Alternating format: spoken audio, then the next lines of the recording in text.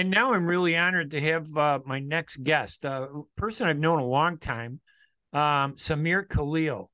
40 years ago, and it's hard to believe so much time has passed, Samir, but 40 years ago, Samir helped organize, he was the founder of the Arab American Democratic Club, which was one of the first political Arab American mainstream organizations in the Midwest in the United States. The Arab American Democratic Club did so much in terms of empowering Arab Americans and getting them to vote.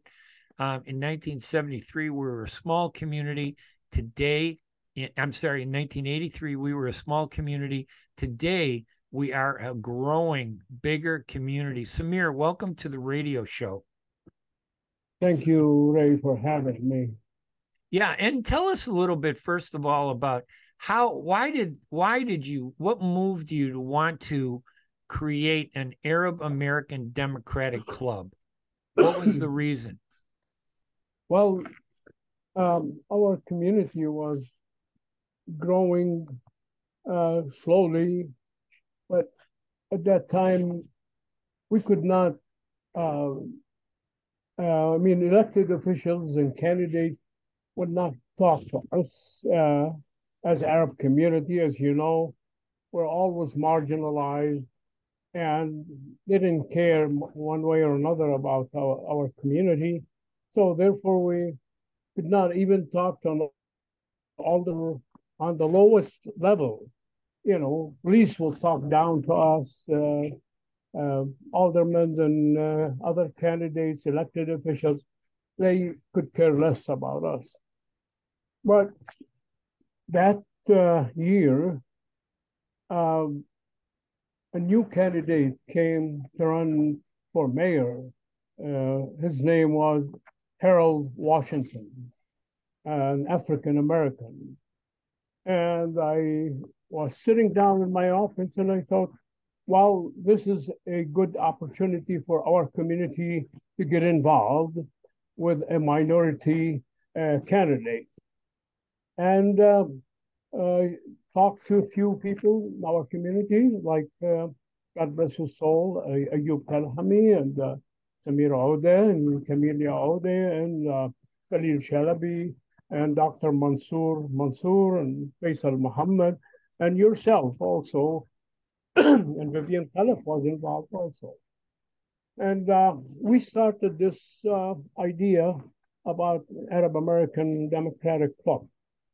Uh, and we have been approached by the mayor's, uh, I mean, the candidate then, uh, Harold Washington office, uh, and if we can be helpful in his campaign, he was welcoming, very welcoming, and we took the opportunity uh, to help out and uh, be part of that campaign. Uh, we met a lady by the name of Lynette Lewis and uh, also Prexy Nesbitt, who asked us that time to uh, see if they can register voters from our community. and we knew nothing about registering voters or anything like that. Uh, so uh, uh, we sat down, Ayub and the rest of the group, and said, you know what, uh, there is a festival going on downtown. Let's take the forms and go downtown in the festival and register voters. And we did. We came up with about 2,500 votes, registered wow. voters. And we thought that was big deal, you know. We took this uh, list and the mayor welcomed us in a very big way. And he said, What are you going to do now? He said, We're just going to continue getting involved and get the community, uh, uh, alert the community about your campaign and getting involved. Anyway, the election took place, and uh, Harold Washington won by, I think, about 40,000 votes. Right. Uh, and the tally came in and out of the 40,000 votes, there were 39,000 Muslim and Arab surnames that voted for Harold that time. Out of his total vote, out of his yeah, total. out of the total, yeah. But he won by 40,000. We thought the 39,000 made a difference, you know. And he noticed that. And he said, okay, what we do next? Um, how about an Arab Advisory Council? I said, great, you know. And we started working on the Arab Advisory Council. And, and just for listeners, I would remind them back in 1983, Jane Byrne was the mayor. She'd been the first woman mayor of the city of Chicago. She was running for reelection. She's a white candidate. Richard M. Daley, who was the state's attorney, a white candidate, and the son of the longstanding Richard J. Daley, the boss, the mayor of Chicago with the Chicago machine. He was running for mayor. And Harold Washington, I think, was a former state rep.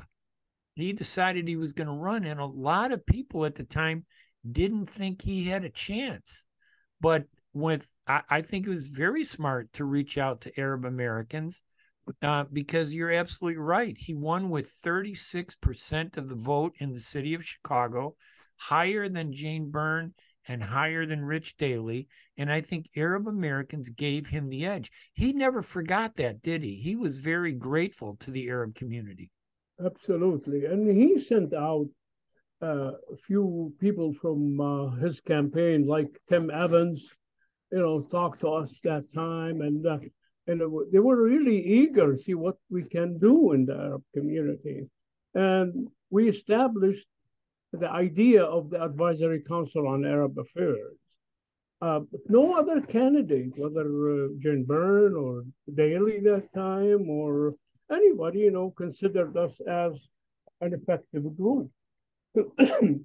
but uh, since he was a minority, he tried to gather as many minority groups as he could, Latinos and uh, some others, you know, and ourselves and really that worked. And uh, when uh, it came down between him and the Republican, then uh, Bernie Epton, right? Yeah, uh, a lot of uh, uh, candidate, a lot of aldermen and elected officials who are white, they were uh, running the campaigns of Democrats but since it ended up with the Democrat Harold Washington and Epton, who's white Republican, they went with Epton. Right. And that heated up, the campaign heated up so uh, unbelievable that time. And we really did our work, our homework very well, and were able to bring in the names we just mentioned 39,000 who voted for Harold Washington, which I believe that made the difference, and moved on to establish the Advisory Council on Arab Affairs. Yeah, it was a it was a significant uh, uh, block of votes that helped Harold Washington. He won the primary in the Democratic primary. He became the Democratic candidate. Now, in every election since uh, Richard J. Daley, the Democrats have always won in Chicago. But as you pointed out correctly, a lot of whites, uh, many Democrats wouldn't support a black candidate, and they ran to Bernie Epton, who was both Jewish and white and a state representative.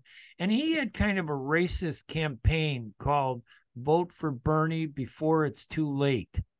But yeah. the Arab community stood by eh, Harold Washington and the black community and Harold Washington won that election in April of 1983, making him the first black mayor of the city of Chicago, in which African Americans were almost a third of the city population at the time. That was pretty big.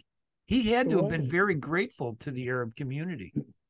And so also, um, with the help of Jim Zogby, the, uh, Arab, the Arab American, American Institute, Institute and from uh, between him and us talking about what do we do beside the advisory council on Arab affairs as part of the city, uh, you know, working with the city of Chicago. Uh, what also thought about a political organization. And from that point, we created something called the Arab American Democratic Club. And since then, we have hosted over probably 2,000, maybe more candidates and elected officials, local, uh, state, uh, county, and federal, even you know uh, presidential candidate uh, candidates like Obama and uh, uh I mean a few others uh, can right. remember, but you know there were a few senators. And, and that um, and that was a time when, um, I mean, as you pointed out with Jim Zogby, the following year, 1984, Jesse Jackson started running for you know president and wanting to, you know, build up the momentum. Right. And again, it was Arab Americans, the Arab American Democratic Club that supported him with Jim Zogby in Washington and the Arab American Institute. And he went on in 1988 to play a prominent role as a presidential candidate. Even though he didn't win, he never forgot, like Harold Washington, the role yeah. that Arab Americans played. And I think we had the largest number of delegates, didn't we? Uh, in we a did, Democratic also, convention that year, and I believe '88. We did in 1988. We were able, with the help of uh, Jesse Jackson and uh, Jim Zogby, the Arab American Institute, to uh, pass 13 Palestinian flanks in 13 states. Okay, and that was really a big achievement for Jesse Jackson and uh, Jim Zogby and the Arab uh, community at large, and right. the Arab American Democratic Club. Uh, and from that point on, you know, now candidates want following us up. Say, we want to come to your event. We want your votes. We want your donations. We, we, we you know, and uh, from that point, uh, you know, we had the blessings of uh, God bless her soul, Maryam Zayed, who passed four years ago. Uh, and she ran for office. I ran for office. You ran for an office yourself. For local school, for local school, I re- state rep to learn about running for office. And these were like classes, weren't they? These were an education. We were learning, right? How to run for office, how to you get were votes. Given, you were given the classes uh, at the uh, Aqsa School yes, for I our was. community that time. I remember that. Yes, and I we was. were learning from you how to run. And, and luckily, you know, and also, you know, we had no policemen, no uh, employees within the city, within the. Now we have not a lot, but it's growing. You know, we came a long way, but we still have to go a long way to go.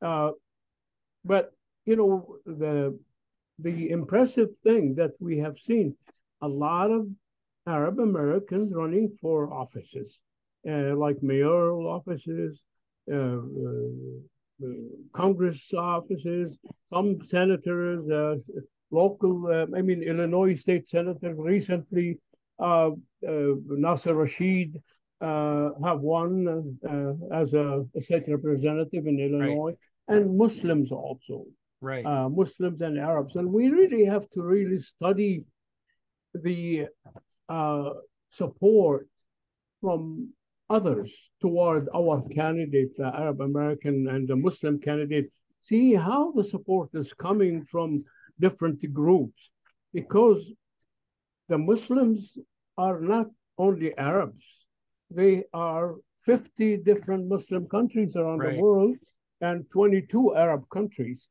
Uh, and there's a difference.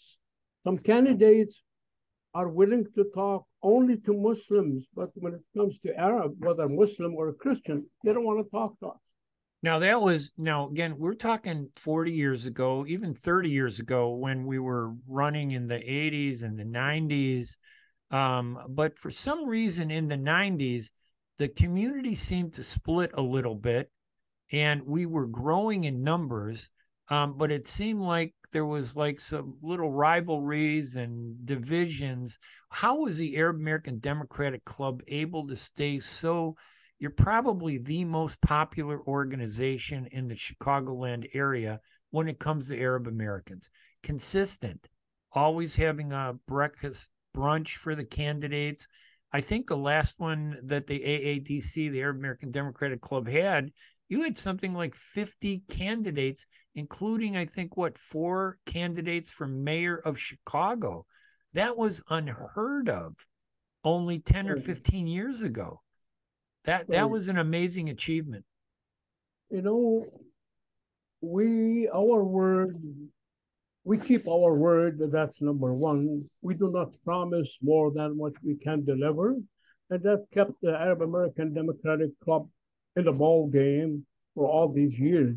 And candidates and elected officials they were coming bigger in numbers. We sometimes have over 100 candidates uh, judges uh, uh, you know you name it uh, senators uh, like um, the Dick Durbin came to us so many times. Who hired uh, an Arab American as a staff yeah, member? Right, Harold right, Washington uh, hired a lot of Arab Americans, didn't yes, he? Yes, yes, yes. That was I was his liaison for the community. You know, as a uh, you know, to go between the city and uh, Samir, the, do you community. think Samir, it really helped a lot, you know, in recognizing our community uh, here locally in uh, in Illinois and especially Chicago, and also in the southwest suburbs, and also nationally now we have uh, uh Congresswoman Rashida Tlaib, uh, uh, and also Ilhan Omar, who's right. from Somalia, and, and other candidates and other elected officials. I think I I mean, I don't want to give the credit totally to the Democratic Club. But I think the Democratic Club, the Arab American Democratic Club, played a major role in bringing these people at the front, encouraged them to run for offices. Whether they win or lose, it really didn't matter as long as we run for offices. At the end, some of them have won uh, offices, and, and hopefully some more on the way. And it awakened the community, didn't it, to politics? Absolutely. You know, we have a a mayor from Egypt uh, from in Bolingbrook. We had uh, a mayor who was born in Gaza. Uh, Gaza. Imagine someone born in Gaza became the mayor of Oak Park. His name is Anan Abu-Taleb. That's unheard of. Okay. So I got to get him really, on my radio show. Uh, well, of course, yeah. We got to get him on there. But you're right. Yeah, I will. I We've will seen. We have seen we've seen a lot of Arab Americans, and I do believe it did start with the Arab American Democratic Club in Chicago. Now, uh, our relationships with the Black community, we could be stronger. But I noticed the important thing about the Arab American Democratic Club is your commitment, your celebration of African Americans, because you have a number of speakers. I, I, think you have Mary Basta, who's the only female Egyptian American mayor of Bolingbrook, who is ho- co hosting this in Bolingbrook at the Bolingbrook Country Club November 1st. Um, and then your keynote speaker is an African American, the highest ranking African American in the state of Illinois, the Illinois right. Speaker of the House, Emanuel Chris Welch. Yes. He didn't hesitate yes. to say, because years ago, if you asked somebody to speak to any Arab group, they'd say no. Yeah. Emanuel, uh, State uh, House Speaker Emanuel said absolutely he would come. And he's going to be introduced, I believe, by uh, another African American at the event, Cyril Nichols, right. a state representative right. from the Bridgeview area. That's right. a big response. I think the Arab American Democratic Club, I think, has always been loyal to the relationship and the support that African Americans have given Arab Americans, don't you think? Yes, I mean, we only, uh, our commitment is kept. Our word is good. Uh, we will not go beyond what we can do. Uh, and, uh, and, that keeps us, uh, unlike any politics game, political games in town. You know, uh, politics, people twist stories to for their advantage. We don't. We're straightforward. We are Democrats, and we tell them the Democratic candidates or the elected officials, this is our line, this is who we are, and this is what we can deliver. And that's it. You ask us for more, we can't. You know, and um, that's that's the way. Uh, really, uh, a message to elected officials and candidates and organizations. stay committed and truthful with everything. You are going to be caught if you lie. You know, as we say, lies have short legs. That is a message for candidates and elected officials. You can't play both sides of the fence or that fence and that fence and say, well, you know, uh, this is politics. No, you are a political candidate, a political uh, elected official. You have to be truthful and honest to your constituents and to your people. It's it's not about um, you know once you have uh, I mean I'm sorry if you give access to a certain group or certain individual to a, a elected official uh, a candidate or elected official in his office or her office, if you just open your door for certain elected officials and for certain people, then you have done harm to the rest of your citizens in your ward or your in your uh, congressional district or as a president. You know, you, you can hurt yourself by lying and not opening up for your constituents and your right. citizens. Yeah, and one of the probably the most important lesson I think that comes out of the Arab American Democratic Club is this. Not only did we try to get Arab Americans elected, we supported many, many non Arab Americans who won office. At your last uh, breakfast brunch, I think a year ago, you had something like 50 candidates. Yes, there were some Arab Americans. We had several of them, but the majority were non Arab. And we showed that we support everybody who does the right thing, right? 90% of them are non Arab. You know, I mean, about 40 to 50 candidates, they were non Arabs. Uh, and uh, we welcome them, we welcome all. Like, you know, our speakers are what, five, six, uh, you know, six of them are non-Arabs. Maybe right. one was an Arab, uh, Nasser Rashid, right. but the rest of them are all non uh, non-Arab. Yeah, I and I think that in a way, Abdelnasser Rashid, the state representative, a great guy, by the way. I think yes. he his position is a result of the pavement that you built, the road that the Arab American Democratic Club built, that not only brought Arab candidates, but brought other candidates, non Arab candidates, to support right. us. The Black community, the African American community, though, they stood up at a time to support us, right? When it wasn't yeah. popular to support us. Remember, right. they were investigating Arab Americans in the 70s. They were making us look negative and bad back in the 70s. And yet, African Americans stood up for us. And I think it's a great thing, Samir, that the Arab American Democratic Club is remembering what happened 40 years ago, what happened with Harold Washington, and having an African American as their main keynote speaker. We only got a few minutes left, Samir, but uh, the event, tell us a little bit about the dinner that is coming up. Um, I think the website is ArabDemocraticClub.com. If you go there, it'll take you to the main website. It's very right. easy to remember, ArabDemocraticClub.com. Yeah. Um, but tell us. Call, they can call some phone numbers. Um, I give my number 773 719 3331, or just go on the website that you mentioned. Uh, I mean, you know, they, this is the first time we have dinner. Always we have brunch. Right. But, you know, it's, so since it's the 40th anniversary, we'll change a little bit, and uh, uh, everybody is welcome. Uh, you have to reserve uh, ahead of time because we fill up quickly. Right. Uh, and you know we always have a this, full room, and we event. welcome everyone. Uh, you know, Latinos, African Americans, white, black. You know, you're all welcome. yeah, this is we'll an be event. happy to have you. This is an event people should not miss. My guest, Samir Khalil, he's the founder of the Arab American Democratic Club, founded 40 years ago in 1983 during the campaign of the first African American to hold office as mayor of Chicago, Harold Washington.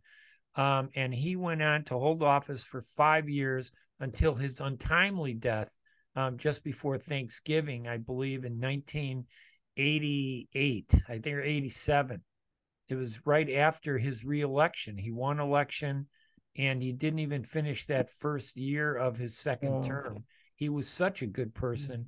Yeah, But, uh, Samir, the AADC, what a great organization. And I appreciate you taking the time to share some of that history.